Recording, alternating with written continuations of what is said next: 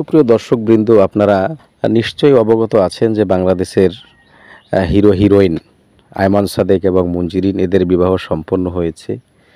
তো এদেরকে কেন্দ্র করে যুবক, যুবতীদের যে উন্মাদনা, যে আনন্দের হিল্লোল বয়ে যাচ্ছে, এটা বয়ে যেতেই পারে, কারণ তাদের প্রিয় মানুষের অনেকেই হয়তো মনে মনে চেয়েছিলেন যে ভাইয়ের সাথে মঞ্জিরিনীর যেন পরিণয় হয়, বিবাহ হয়, সেটাই হয়েছে। এই জন্য আমরা স্লোগানও শুনেছি, ভাই জিতছে। তার মানে মঞ্জিরিনকে পেয়ে সে জিতে গেছে। যদিও শব্দগুলো কেমন যেন একটা পণ্যের মতো মনে হয়, যে বাজারে কেনাকাটা করতে গিয়ে ইলিশ মাছ, অল্প টাকায় ভালো ইলিশ মাছটা কিনেছে বা গোলালু কিনেছে এই পণ্য কেনার মতো এরকম। তারপরও এটা তাদের জায়গা থেকে তারা করেছে, ওটা নিয়ে মাথা ব্যথার কিছু নেই।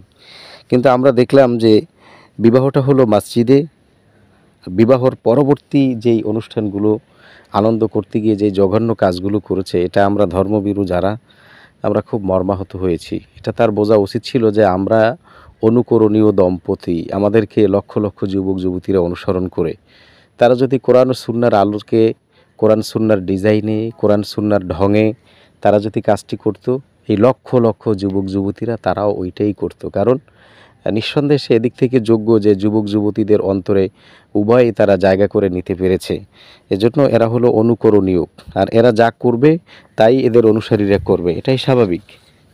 তো সে বিবাহের পরে যেই কাজগুলো করেছে, যে জঘন্য কাজ, নির্লজ্জ মানুষের মতো কাজ, পশুর মতো কাজ, গান বাজনার আয়োজন করল, এমনকি আমরা ফেসবুক এটাও দেখেছি বন্ধুকে মাঝখানে রেখে তার স্ত্রীর ঘাড়ের উপরে এক হাত, তার হাতে এক হাত, তার ঘাড়ের উপরে তো এটা তো শরীয়ত সমর্থন করে না। এখন এটা তাদের দ্বারা সবই সম্ভব যারা লজ্জাকে জয় করেছে।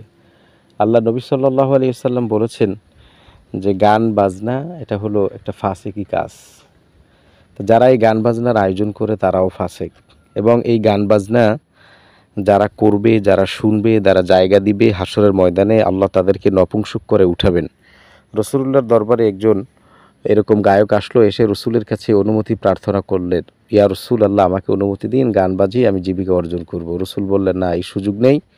তুমি অন্য পন্থা অবলম্বন করো। আল্লাহর কাছে রেজেকের রাস্তার অভাব নেই। আল্লাহ তোমাকে রেজেক দিবে। লোকটি চেহারাটাকে মলিন করে বিবরণ করে ওখান থেকে চলে গেল। আল্লাহ রসুল বললেন, তোমরা কি হাসরের ময়দানে নপুংসক যারা হবে, এরকম ব্যক্তিকে দেখতে চাও? সাহাবিরা বললেন হ্যাঁ। তখন রসুল বললেন, এই লোকটাকে দেখে নাও, কারণ এ গানকে, বাজনাকে খুব প্রিয় মনে করে এবং এটা দিয়ে জীবিকা অর্জন করতে চায়। তা যারা এই গান, বাজনা শুনবে, শোনাবে, শোনানোর মতো ব্যবস্থা করবে, সাপোর্ট করবে, প্রোভাইড করবে, এরা ওই হাসরের ময়দানে নপুংসক হয়ে উঠবে।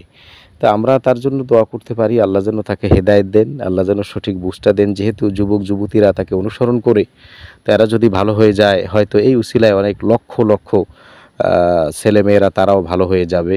আল্লাহ তাদেরকে সঠিক বুঝ দান করুন।